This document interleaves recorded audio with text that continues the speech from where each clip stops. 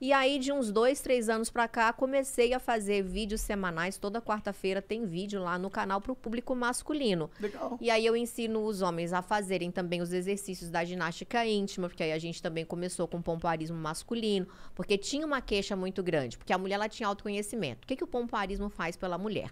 Essa mulher ela vai ter benefícios para a saúde e benefícios para a sexualidade. Para a saúde, não tem cólica, o intestino melhora, diminui o período menstrual, não tem incontinência urinária, vai ter um parto vaginal tranquilo, recuperação pós-parto bacana. Isso é para a saúde. Isso, isso, é- isso é absurdamente benéfico. Nossa, eu acho é? que Gente, isso é a vida. porque as é pessoas vida. sabem pouco sobre isso. Pois é. Porque é tabu, né?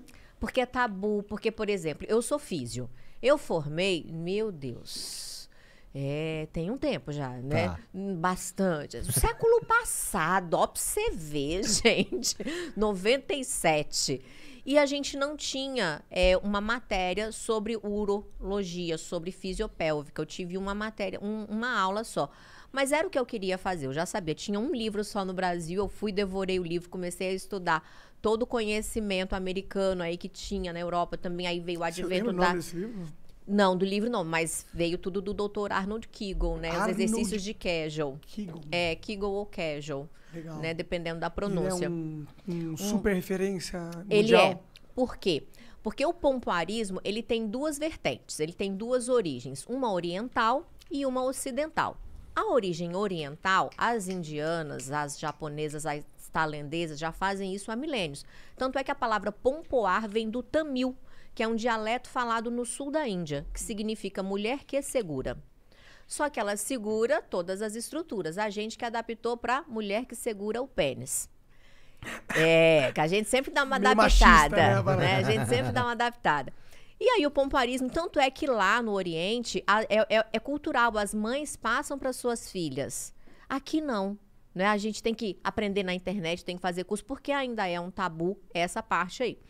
Beleza. E aí, como que isso veio parar aqui, então, no Ocidente? 1948, aproximadamente, o doutor Arnold Kegel, um médico uroginecologista, tinha muitas pacientes com problema de incontinência urinária. Ele pensa, poxa, é um músculo que segura a bexiga. Se eu fortaleço esse músculo, a bexiga está no lugar, ninguém mais tem problema de continência. E assim ele fez. Fez os exercícios, passou para as mulheres, as mulheres treinavam os exercícios, só que elas falavam, doutor, não tô mais tendo perda urinária, ou seja, não tô mais fazendo xixi na calça, mas tô tendo os ribuliços diferentes aqui embaixo. O negócio tá melhorando, o marido tá dando uns elogios, eu tô sentindo umas apertadas diferentes, meu orgasmo tá melhor, tá mais gostoso, tá mais intenso. E foi assim, então, que o meio médico, o meio acadêmico, ficou sabendo dos exercícios. Hoje é cadeira obrigatória na fisioterapia, a gente tem seis meses de aula, e eu tenho uma pós aí em uroginecologia. Né?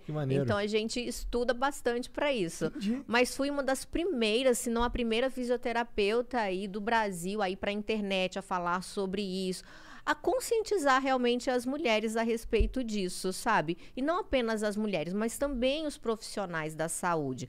Porque é, parece que é um lugar secreto, negro, que não pode falar, não pode tocar, não pode ser falado a respeito disso daí. E hoje muita gente já tem o conhecimento que a prática desses exercícios é para nossa saúde.